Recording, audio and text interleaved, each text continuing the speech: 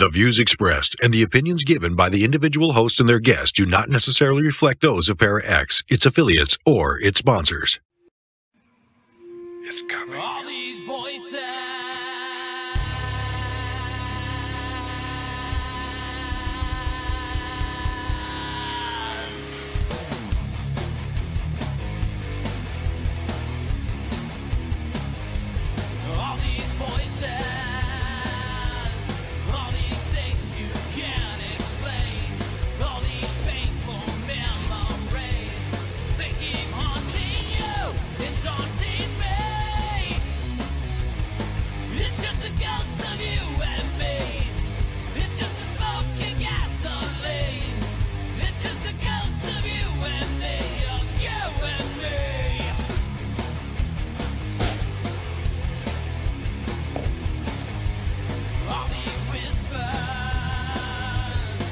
My name is James Hershey. voices in the rain. Right back. All these shadows in my mind,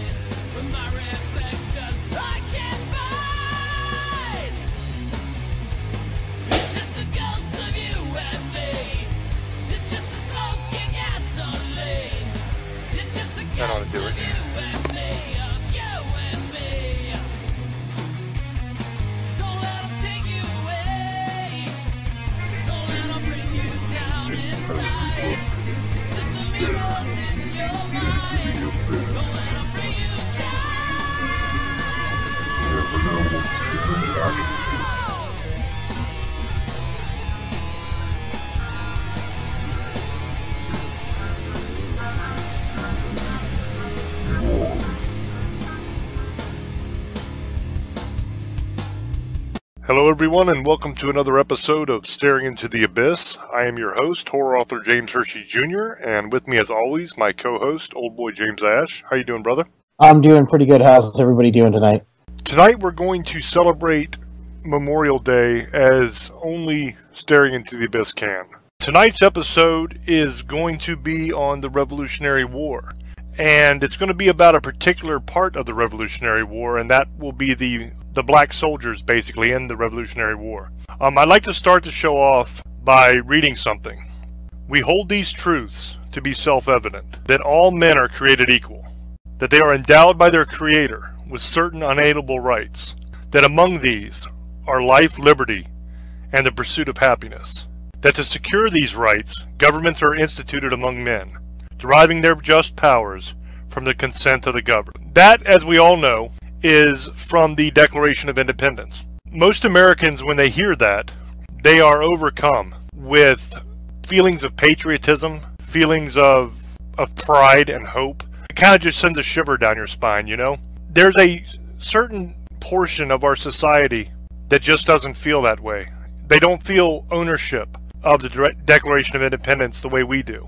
And that kind of came as a shock to me. About two weeks ago, I was speaking to a young black man. He was in his early 20s. The conversation started off pleasant enough. It was, you know, hey, loved your books. And I'm like, thank you. And then, you know, that kind of conversation in the beginning. And then we started talking about a little deeper things, a little heavier things. And we got to talking about our country and, and about our founders and what an amazing place this is. And he said something that to me was really shocking. He said that he did not feel like the promise of the Declaration of Independence or the Constitution applied to him. And I was shocked at this. I could not believe what I was hearing that an American would, would say such a thing. And I, I asked him, why is that? Why why do you feel that, that the promise of America doesn't apply to you? That doesn't make any sense to me. And he said that during that time period, it was a bunch of white people fighting for white rights, and his people were all in chains he had no part in the in the in the revolution. It wasn't his revolution. The revolution for his people wouldn't come for for many many years. I felt saddened in a way because here was a man who was an intelligent man. I mean, he was well spoken. He was he seemed learned. I mean, he he knew a lot of things in the rest of our conversation, but in this one particular area, the history of his people, he just didn't know it. And I don't necessarily think that that's his fault uh, because this stuff isn't really taught in school anymore. And I think that's really sad. But here was a gentleman that there was a really great guy and a nice guy, and he had no idea about the amazing heroes that were in the Revolutionary War that were his people. The, the role that, that the black man played in, in the Revolutionary War isn't taught in school, and I think that's a travesty.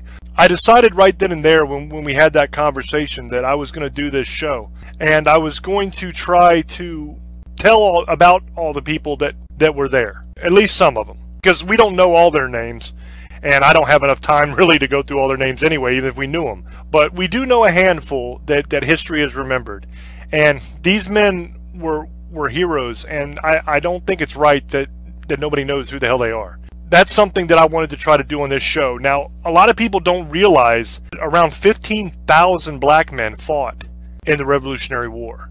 Okay, some fought for the British because the British came in and they offered freedom to a lot of the slaves if they would join them. So you had some slaves that, that ran away and joined the British and fought on their side. And then you had some on that fought for the for the patriots, for us, for America. Some of those were, were slaves because they had a policy back then that you could pay somebody to fight in your stead.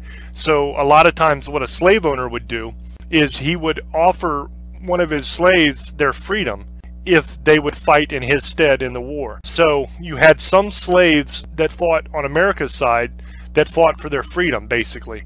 And then they went into the military and fought. But then you also had a lot of free men that fought as well in the revolution that were black men that were not slaves. They were born free and they died free. They never lived in bondage or, or in chains. And that's another thing that isn't really taught in schools, that people don't understand that when they think about that time period, they think that everybody was a slave. Like all the black people that existed at that time were all in chains. And that's just honestly not the truth. You had a lot of free men that were black that lived their lives as free people, just like the white people did the very first person that was killed in the Boston Massacre, which is actually, I guess you could say, the first American casualty in the in the Revolutionary War, was actually a black man. His name was uh, Crispus Attucks or Attucks. I don't know how you pronounce it, but it's Crispus Attucks, I think. By 1779, 15% of the Continental Army was black. What we're taught in school was that it was a bunch of white guys fighting for their independence, but 15% of the Continental Army was black in between 12,000 and 15,000 total. You probably had for the uh, Continental Army somewhere between five and, and eight or 9,000 uh, of the troops were actually black. But I mean, these guys that were in the Continental Army, they fought at the Battle of Lexington and the Battle of Concord, um, Yorktown. Um, they were at Valley Forge with Washington. They, you know, that famous painting where you see them crossing there and Washington standing up in the canoe. They were there with him when when he crossed the uh, when he crossed the Delaware they wasn't just integrated units. See, that's another thing. Some people will admit that that uh, there were black people that fought in the Revolutionary War, but they paint a picture like, yeah, they were there, but they were grunts, and they had to have a white guy telling them what to do. You know what I mean? Because they, they weren't allowed to have any kind of responsibility or any kind of, of power at that time. And that's simply not true either. There was actually three units in the Continental Army that were made up of nothing but black men. Okay, you had the Rhode Island First Regiment. They fought um, at Newport, at uh, Monmouth, and Yorktown, and they really distinguished themselves in the battles. I mean, they were badass dudes. Um, you had the Black Bucks of America, which were from Massachusetts, and uh, they they had their banner, their fighting banner, is actually still on display at the Historical Society there in Massachusetts. So you can actually go and still see that, which is kind of cool. And then they had a um, a regiment that came from Haiti that the French supplied us because the French were our allies in that war. And they took the ideals of liberty that they learned from the revolution, from America, the ideas that that came from the Declaration of Independence about all men becoming equal and being equal, and that we were endowed by God with our rights, not by governments. So governments did not have the right to take away our rights because they came from God. You know, they took all those ideals and they took them back to Haiti with them. And they actually used those ideas to hype up all of their, their brothers over there. And they actually overthrew the French, which ruled Haiti at the time, which was kind of cool. They actually made a republic just like we have, you know what I mean, over in Haiti at the time, which was really neat that, that they could take the ideas that made us great that gave us that spark of freedom and liberty that made us want to be free men and women. They took that idea and they took it back and they they did it for themselves in their country, which is amazing. On this show, I'm going to tell you a little bit about the people that history remembers. Okay, I'm going to tell you their names and I'm going to tell you a little bit of information that we have from them. So we'll start with Philip Abbott. Um, Abbott was a servant uh, to the family of Nathaniel Abbott. They're from uh, Massachusetts, Andover, Massachusetts. When Nathaniel Abbott's men were called to the Battle of Bunker Hill, Philip Abbott fought and died with them.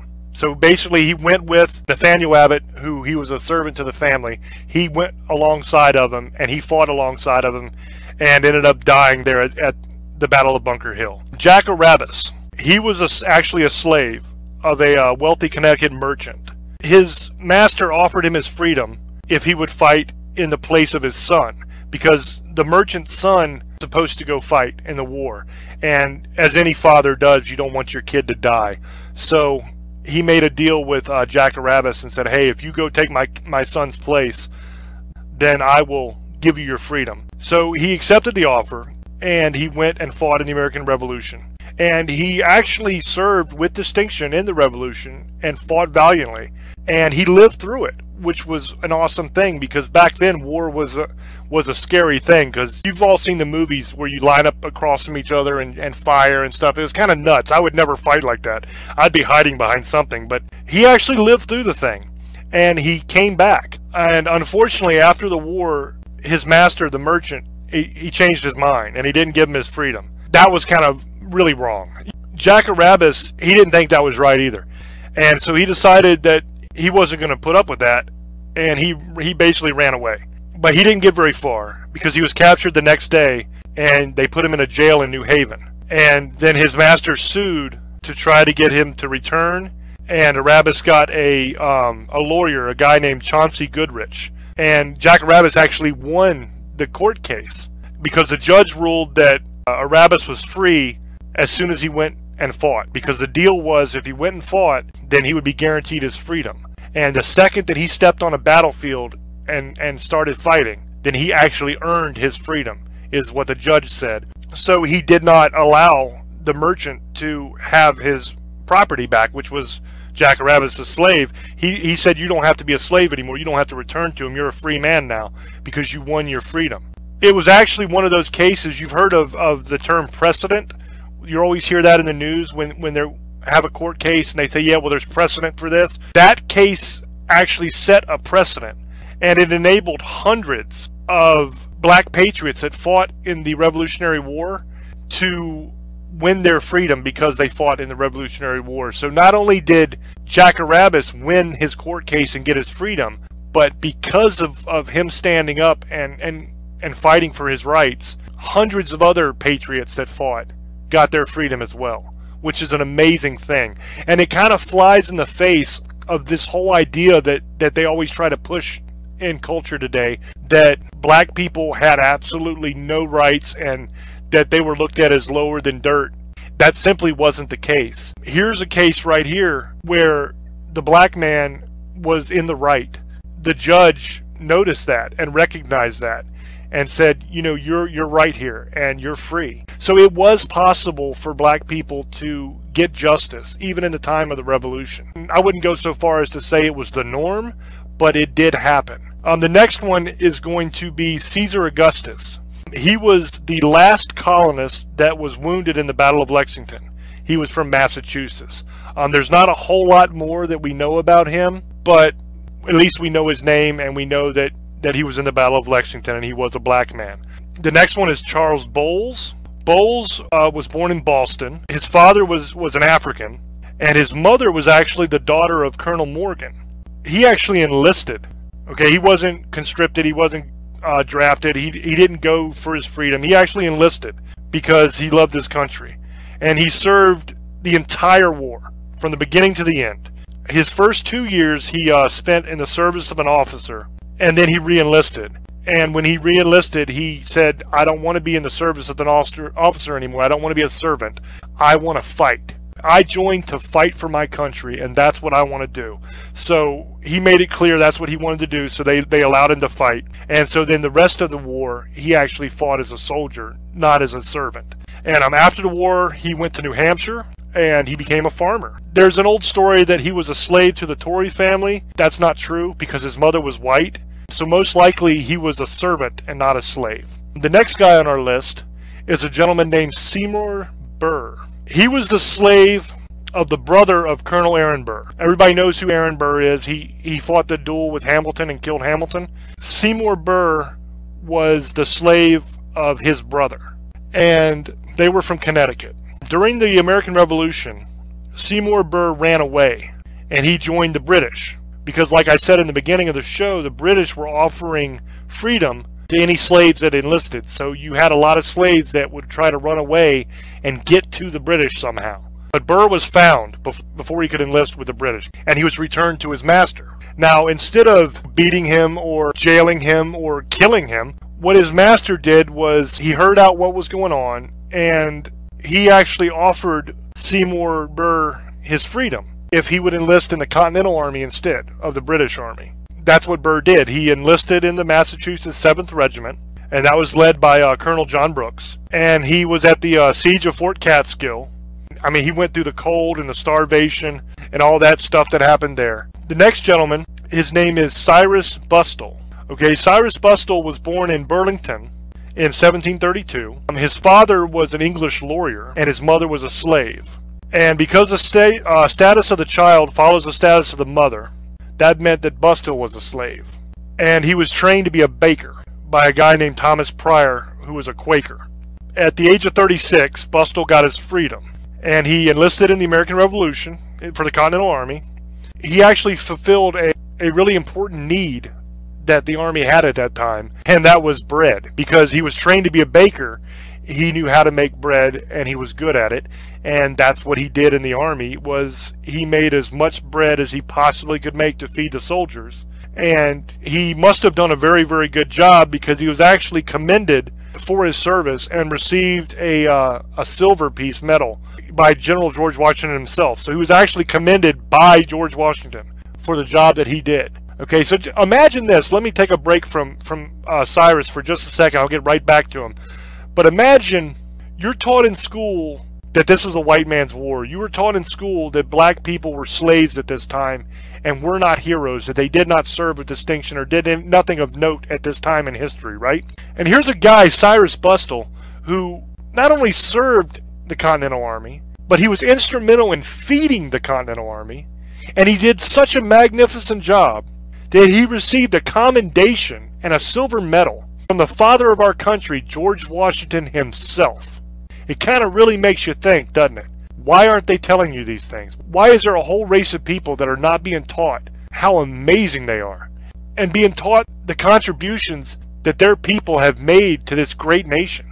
These are the kind of things that made me sad when, when that young gentleman I was speaking to said those things to me because it's like, do you, do you know how amazing some of your people were in the Revolutionary War? I mean, like I said, here's this guy, man. He, he was commended by the by the first president of the United States in person and given a medal. And after the war, uh, Bustill and his wife they moved to Philadelphia.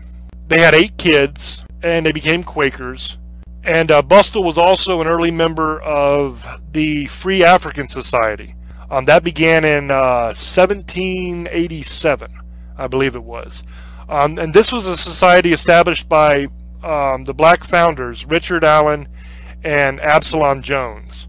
And uh, when, when Bustill ended up retiring from baking, he opened up a school and he died in like 1806. Uh, the next guy's name is Oliver Cromwell. Um, he was born in the colony of New Jersey near Burlington. There's some confusion about this guy's birth date. One source I found said it was May 24th, 1753, and another one said it was uh, 1752. I, I guess that really doesn't matter all that much. It's like one year apart. But he was a light skinned guy. He was a farmer, and he was raised by the family of John Hutchkin. Most likely, he was born a free black man. I can't 100% guarantee that, but everything I found on this gentleman, it, it looks to me like he was born free. He served in the uh, 2nd New Jersey Regiment under Captain Lowry and Colonel um, Israel Shreve. He was in the Battle of Trenton, the Battle of Princeton, Battle of Brandywine, Monmouth, and uh, Yorktown as well. And he was actually on the famous crossing of the Delaware on December 25th, 1776. And George Washington personally signed Cromwell's discharge papers at the end of the war. And he also designed a special medal which he presented to Cromwell. So here's another guy that was given a medal by George Washington, who was a black man who served with distinction in the war. He later applied for a pension as a veteran. He was like one of those guys that was just so well liked, like everybody loved him. And he couldn't he couldn't read or write, so he couldn't really apply on his own for his pension. Here's the, the sense of community that they had in that time period and how well liked this guy was that he actually had local lawyers, judges, and politicians, all of them ganged up together and helped him to apply to get the pension and then lobbied for it. Okay, so he ended up getting $96 a year pension, which back then was a was a, a good amount of money. Okay, it was enough that he was able to purchase a 100 acre farm. Cromwell had 14 kids, and he ended up moving to Burlington in his later years of his life. And he actually outlived eight of his kids, and he lived until he was 100 years old, and then he died. He's actually buried in the Methodist courtyard in Burlington, where some of his descendants actually still live to this day. So he was a definite hero in the Revolutionary War, in my opinion. The next gentleman, his name is Prince Easterbrooks. In the first battle of the American Revolution, which was the Battle of Lexington, there were at least 10 black patriots that fought in that battle. And Easterbrooks was one of those guys. Um, he served under Captain John Parker, uh, and he was among the first to actually engage in the war. He was wounded in that battle when the British forces fired upon the citizens of the town. And he was mentioned in the Salem Gazette, um, the Newbury Gazette, and the Marblehead Advertiser in April 21st, 1775, as a Negro man who was wounded in Lexington. At the time period when it happened, it was actually covered in the press. And if you if you do the research online, you can actually go back and you can actually look at the the actual well not the actual papers, but pictures of the paper that that was actually written in, which is kind of a cool thing to see. On the next guy, his name is Samuel Francis. He was born most likely in 1734, uh, but it could have been as early as 1722. There's varying accounts. Back at that time, there wasn't really birth records like there is now, so you're going by a lot of different kinds of information when you try to ascertain these things. So that's why there's some discrepancies sometimes in the birth date, just so everybody understands. At some point in his life, he immigrated to the colonies and ended up settling in New York City. He actually ended up becoming an owner of a tavern, which is really cool because once again, you're taught in school that all black people were slaves at that time and they were, you know, lower class citizens and they didn't have any rights and they were just scum of the earth, basically, is how they were looked at. I mean, here's a black guy that owned a tavern. You know, he was a business owner, a respected position. And it's rumored that during the Revolutionary War, the tavern that he owned was actually a meeting place for the Patriots in the planning of the war. On December 4th, 1783, George Washington delivered the uh, his farewell to his officers at that tavern. Washington and Francis had a strange kind of relationship. It was a personal relationship and it was a business relationship.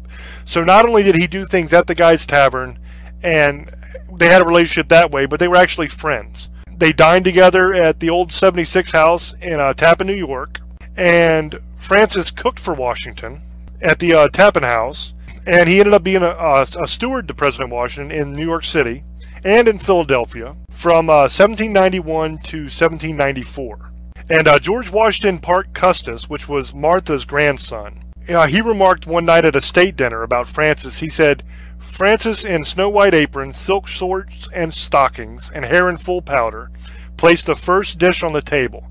The clock being on the stroke of four, the labor of Hercules ceased. That's what Martha Washington's grandson said about Francis. He's also pretty well known because he helped to feed the 13,000 American prisoners of war that were kept around New York City, including those that were on those prison ships. And they had like prison ships that were in the water there in New York City. Francis and his wife, Elizabeth Daly, they had seven children.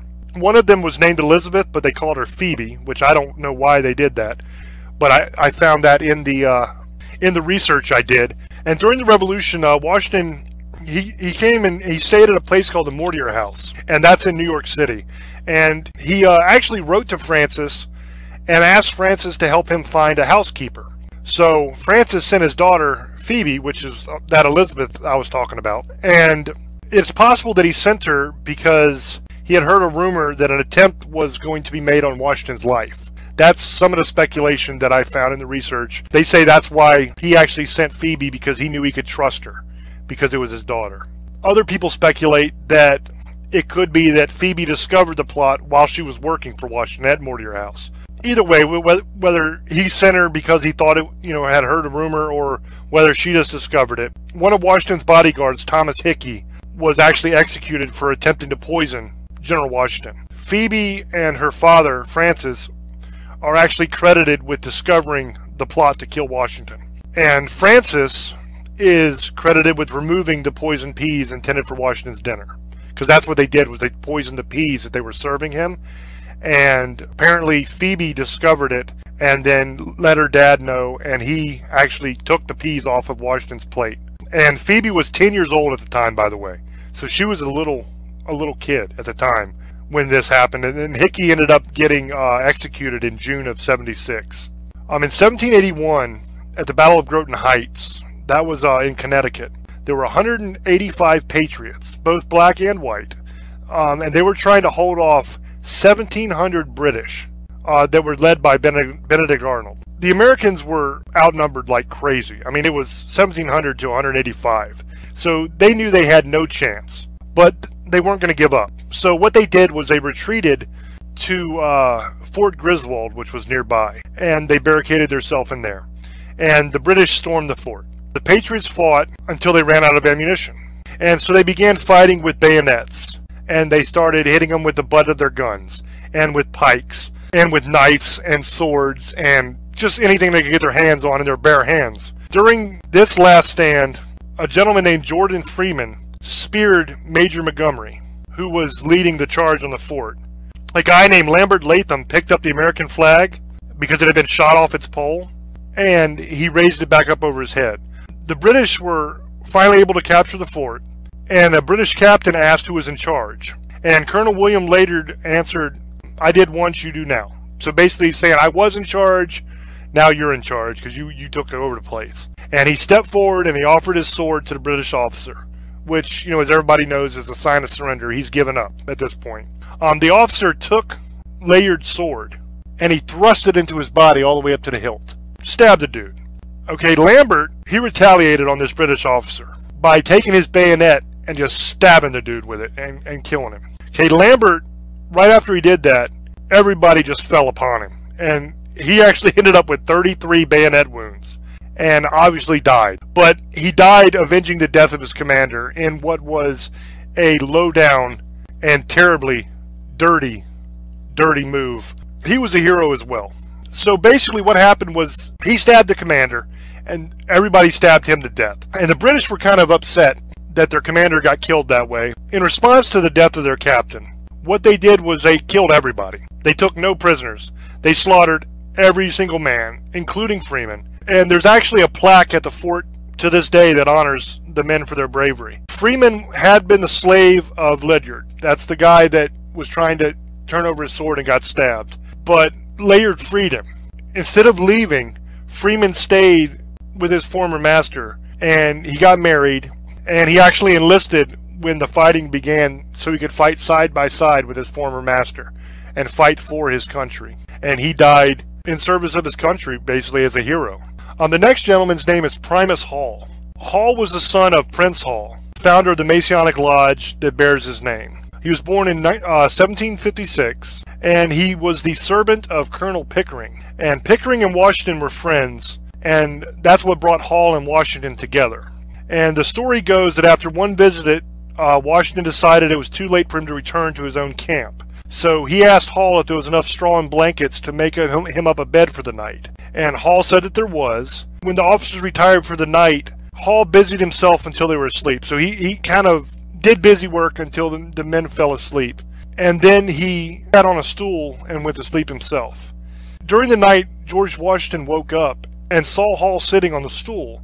And he realized that Hall had given up his own bed so that Washington could have a bed to sleep in. So Washington woke him up and told him to join him in, in the bed so that he wouldn't have to see, sleep on the uh, stool. Um, Hall tried to say, no, no, no, you take the bed, I'll take the stool, it's all good. Uh, but Washington wouldn't hear of it, and he said, no, you're going to sleep in your own bed. You know, so that's what they did. During that time period, that was a that was a normal thing for for men to share a bed when they were traveling or or when they was you know in, in battle and stuff. Um, his dad, Prince Hall, was born in 1735 in Boston, Massachusetts. And he was a slave of William Hall. His son was, was Primus, and he was a servant of another Boston family. In 1762, when he was 27 years old, he joined the Congregationalist Church. He married a slave by the name of Sarah Ritchie, and Sarah died eight years later, so Hall married again, this time to Flora Gibbs. A month after the Boston Massacre, Hall was freed by his master. Um, he had a certificate that said he was no longer reckoned a slave uh, and would always be accounted as a free man. After he was freed, he worked as a peddler, caterer, a leather dresser, and he was actually listed as a voter and a taxpayer. So here you have a black man in the revolutionary time period who was listed as a voter and a ta- taxpayer in official documents. And he owned a small house and a uh, leather workshop that was located in Boston. The question of did he fight in the Revolutionary War is one that's not 100% sure. I believe he did, but there were actually six men that lived in Massachusetts at that time period that were named Prince Hall. It's most likely that he was the Prince Hall that served in the Battle of Bunker Hill because he supplied the leather drum heads to the Continental Army. We know that because he sent a bill to uh, Colonel Crafts in April, and that shows that he supplied the, the drum heads for the army. Most likely, he's the one that served in the Battle of Bunker Hill. Before the war began, Hall and 14 other free black men joined the British Army Lodge of Masons. When the British retreated from Boston, the men founded their own lo- uh, lodge, and it was called the African Lodge Number One, which was la- later renamed in Hall's honor, which was that Masonic lodge I was talking about. It took 12 years to get the official charter. Hall was the first Grand Master, and it was the first ever Black Lodge. Hall became one of Boston's most prominent citizens and a leader not only in the black community, but in the community overall. He spoke out against slavery, and he spoke out against the denial of rights to black people. After years of complaining about the lack of schools for black children, he set up one in his own home. So this was a guy that didn't only talk about it, he did something about it. Okay? He, he didn't think it was right that there wasn't enough black schools, so he set up his own black school in his home. And he brought black children in and he educated them. And in his last uh, published speech that took place at his lodge in 1797, he spoke out against violence. Um, he said, Patience, I say, for were we not possessed of a great measure of it, we could not bear up under the daily insults we meet with in the streets of Boston, much more on public days of recreation. That's a quote from his from his uh, speech, and he said, "How at such times are we shamefully abused, and that to such a degree that we may be truly said to carry our lives in our hands, and the arrows of death are flying about our heads. 'Tis not for want of courage in you, for they know that they dare not face you man for man, but in a mob which we despise." He died in 1807, and it was a year after his death that the lodge he founded decided to honor him and rename itself as the Prince Hall Grand Lodge, and that was the Masonic Lodge that I was speaking about. Um, another gentleman's name is uh, Benjamin Mays. He carried the nickname of Daddy Ben, and he was actually a royal prince in Africa. He was brought to America and sold to a Colonel Scott. And during the Revolution, the British uh, wanted to find Colonel Scott, but they couldn't find him. They tried, they just couldn't locate the dude. Um, but they did end up capturing Mays. And in an attempt to get him to reveal the whereabouts of Scott, they decided they were going to torture Mays. So what they did was the British hung Mays up, and then they cut him down right before he died. Okay, so basically they put him in a noose and they hung him by the neck. And right before he was getting ready to die, they cut him down. And they didn't do that once. They didn't do it twice. They did it three times. They hung this guy almost to the point of death and then cut him down because they were trying to get him to give away the location of his master, Colonel Scott.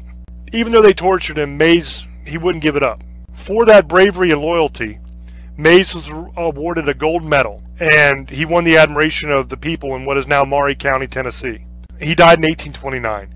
So here's another guy who was heroic and who won a medal. So what is this? Three, maybe four people now we've spoke about that were actually uh, won commendations and, and received medals in the Revolutionary War.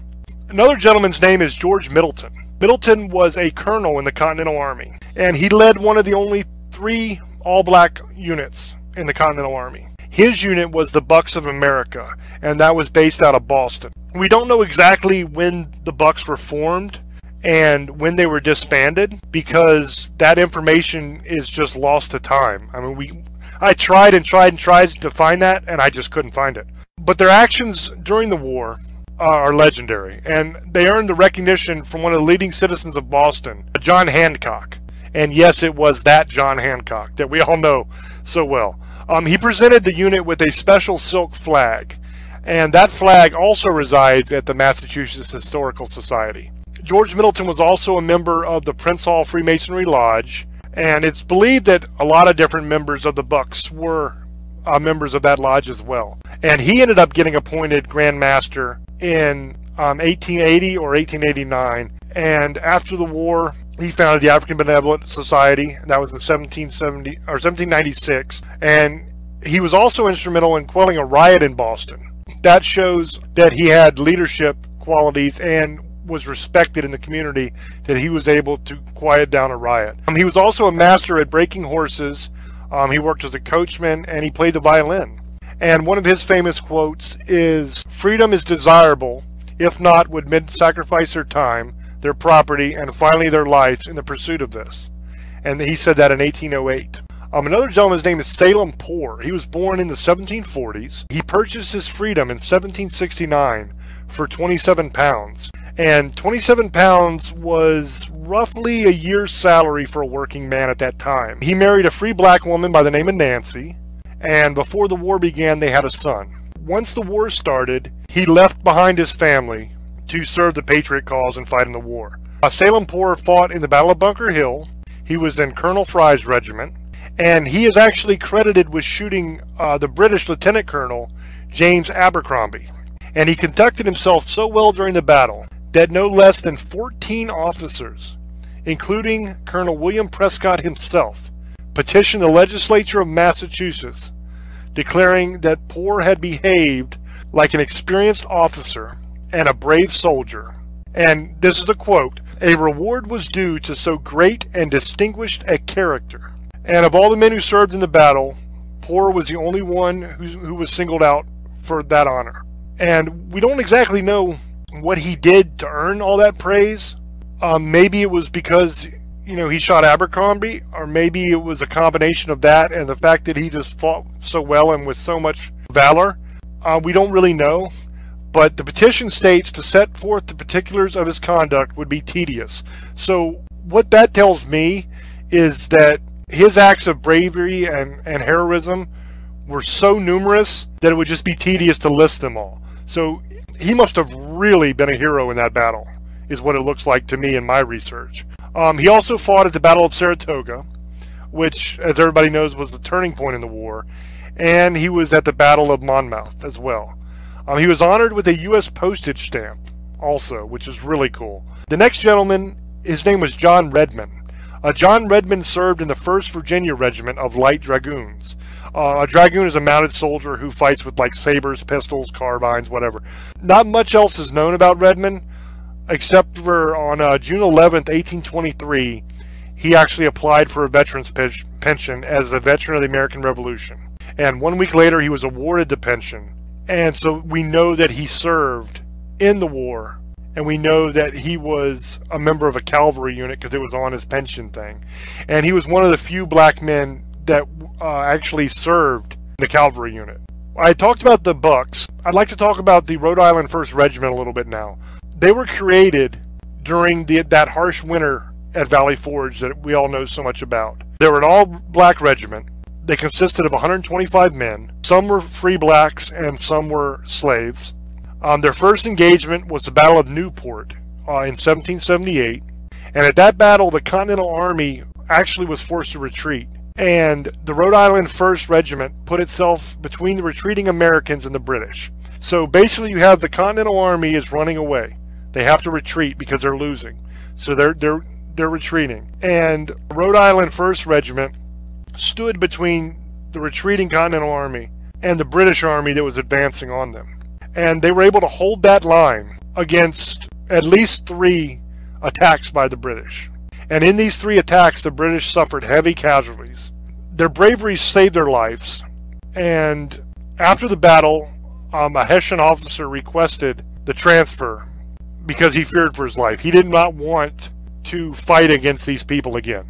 He said that they were so brave and so capable that he didn't want no part of that. He was afraid he was going to get killed, so he asked for a transfer.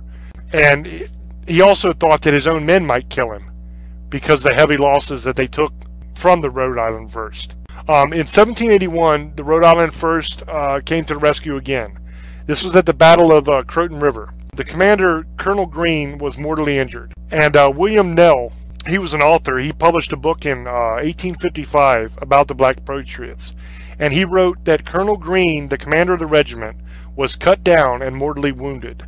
But the sabers of the enemy only reached him through the bodies of his faithful guard of blacks, who hovered over him, and every one of whom was killed. So he had a group of, of black soldiers that were guarding him. And when he fell and was injured, the British were trying to finish him off. And they had to go through all these black guys that were guarding him. And they stood strong and they faithfully guarded the colonel until every one of them was killed. I mean, even though that, that wound was fatal that he received, you had members of the Rhode Island First that formed a barrier around him. And instead of retreating and getting out of there like they could have and abandoning him to the enemy, they chose instead to die with their commander in an honorable way. And the rest of the unit continued to fight for like the entire war. And a remnant of the original regiment, so a, a small portion of that original regiment, was actually present with George Washington to surrender Yorktown at the end of the war. The next gentleman's name is Peter Salem. Salem was a slave and a celebrated marksman. After the battles of Lexington and Concord, soldiers from all over Massachusetts, Connecticut, and Rhode Island assembled outside of Boston to confront the 5,000 British troops that were stationed there. That con uh, confrontation was called the Battle of Bunker Hill, and it began well for the Americans until they ran out of ammo. Um, at that point, Major John Pitcairn, who had led the troops at the Battle of Lexington, mounted the hill and called the day as ours. It may have been a victory for the British, but it came at a very dear price because Peter Salem, the marksman, he raised his musket and he shot uh, Major Pitcairn. He threw the British into confusion because here they thought they had won the day. They thought we won this battle. And then all of a sudden, boom, their commander's dead because of Salem. There are several more, and maybe I will do another show on this topic, but I'm running out of time. So I'd like to sum up instead.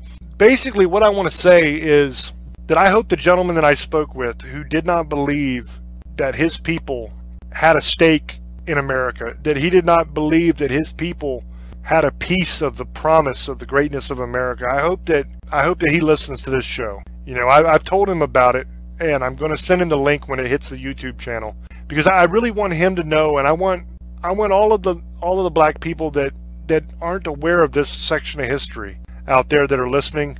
I, I want you to know that your people have played a pivotal and vital role in, in the formation of this country. You know, don't ever let anyone steal this rich and wonderful history from you. It, it's it's a damn shame and it's a travesty that that nobody talks about this. I think this should be taught in every history class, but it's just not.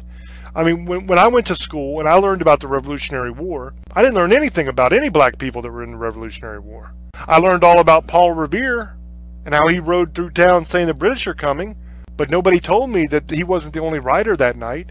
And there was actually a black man who did the exact same thing and actually warned people before Paul Revere did that the British were coming, but they didn't talk about him in my history class. None of these gentlemen that I spoke about tonight were mentioned in any of my history classes that I took. But they were great men. I mean, they were awarded commendations. I, I talked about four of them that were awarded commendations and medals from George Washington himself, the guy that would become the first president of the United States, the father of our country, who had a personal friendship with some of these men. But they're just kind of lost to history, you know? People don't know about them. And I think that's really sad. I really do. And I hope that, that this show, I hope that it raises some awareness. And I hope that people listen to this and, and they share it. Share this on social media. Send it to your friends let everybody know about these amazing men and what they did for our great nation. And to that young black man who who I was speaking to, and to any other black people that are listening, hold your head up, man. Hold your damn head up high because you guys have just as much stake in this country as we do. You fought and you bled and in some cases you died, just as much as we did, to guarantee freedom. So I, I want to leave you with that thought. Thank you, brother. And that was very interesting. I want people to understand something. I didn't even know about this. I mean, I know he did a show. This should tell you something. I've only known about it for the last week, and that's a travesty that these African American soldiers have never been rewarded for this or even talked about this at all in the schools or colleges. Maybe in some colleges, but I've never got taught it in school. I knew about Civil War, like and stuff like that. That African Americans had a big part of that because you know helping us win against the South. And I know even that, even the South African Americans were actually in the South too, because the, the, the South offered them uh, a free from slavery, like that movie Glory and stuff like that. That that I knew about that, but I never knew in the Revolutionary War that African Americans had a big part in it more than they they don't even say nothing. Almost fifteen to twenty thousand troops. That's ridiculous. It's not being taught in school, and I want to thank these people God bless their souls because they're rest in peace. They passed away either from old age or killed in the war. But I want to thank you from the bottom of my heart for helping us against. At the time, the British are not enemies anymore, but they were, and you gave your life for our freedom, and you guys should get recognition for that.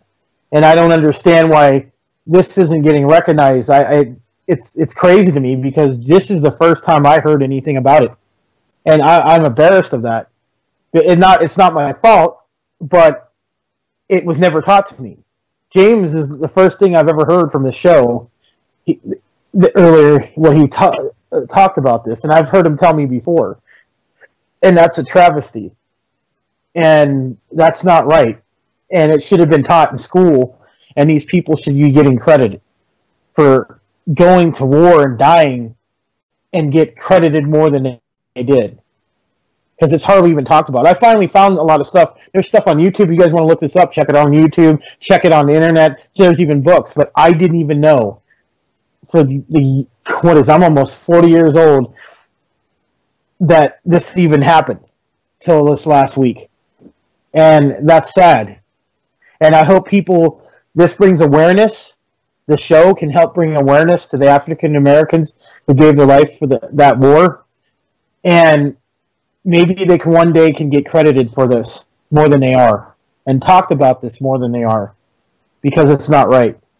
The Revolutionary War, come to find out, George Washington had 15% of his army were African Americans. And you don't get, I didn't get taught that. I knew there was, there was a few, but I never knew anything. I never, I never knew that. This is something new to me. I've only known for a couple weeks because James has talked about it. He's wanted to do this show very for a long time, and now I've learned, and I hope one day they get recognition for what they did, because that's crazy. That this time that I finally found this out because I had to hear it from my my co-host, and not from schools, because I graduated high school, elementary, junior high. I never heard any of it. I heard that they were slaves. I've ever, you know, that that's just always gets talked about, but never they get any recognition. That was that many, almost fifteen to twenty thousand, and and they were they the Brit and and also they had British too, and you know, and I I didn't even even hear the British side of it. I don't even think they teach it. I never heard anything from it before, except to this episode right now. So that should tell you something, and that's sad that that guy that you were talking to, James, that young African American, didn't know it either because it should be taught to him, and he didn't even know his own history because they're not teaching it. They're not talking about it. They're not even. I mean, I, I barely, I, barely heard anything, and then when I read about it, there is some stuff about it, but it's never been talked about really. Not in school, only a little bit here and there, but nothing like like what I've been reading. God, this is bigger than what they portray. You know, maybe because they only had 15, 20,000, but God, they died. Some of them died for our country.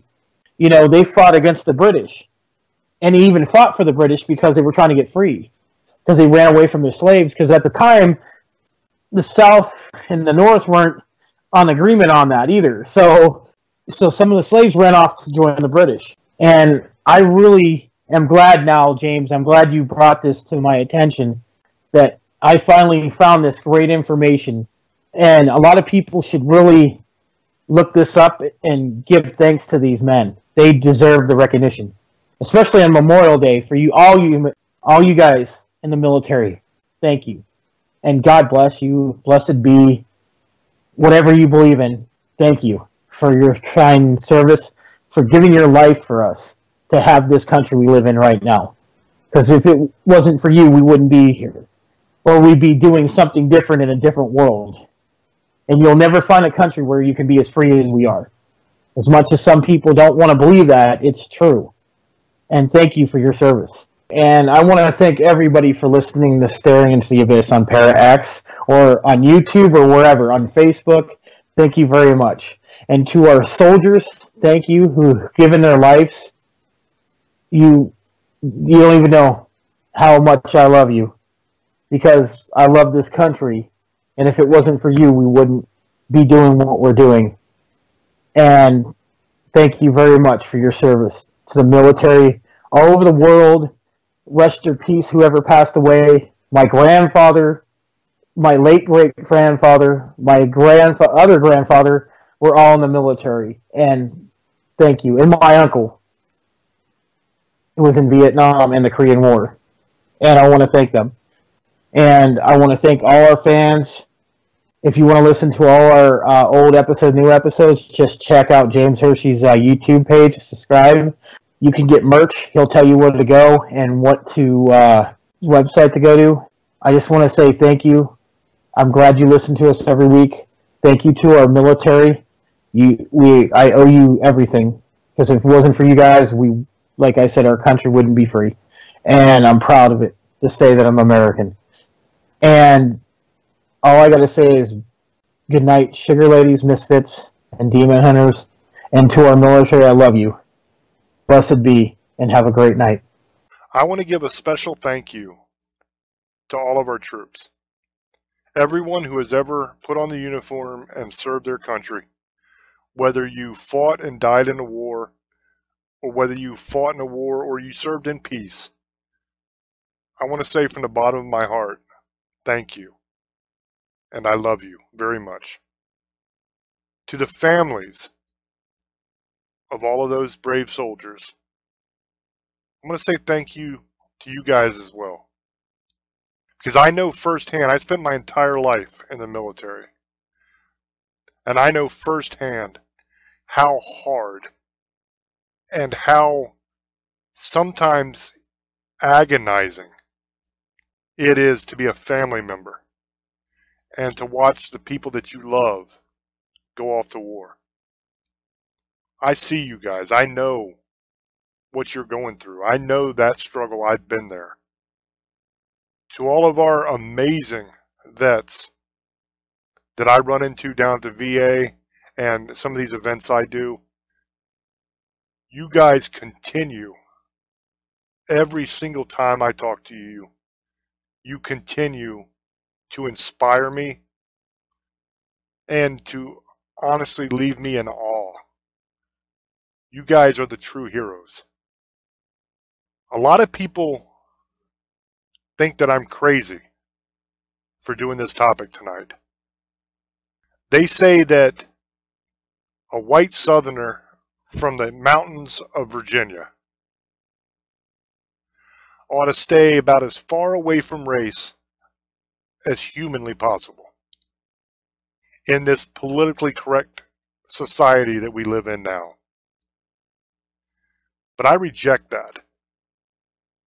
We are all children of the same great and mighty God. I don't care what color you are. I don't care whether you're a man or whether you're a woman. I don't care what God you choose to pray to, or if you choose to not pray to one at all. I don't care what country you lay your head down at night to sleep in.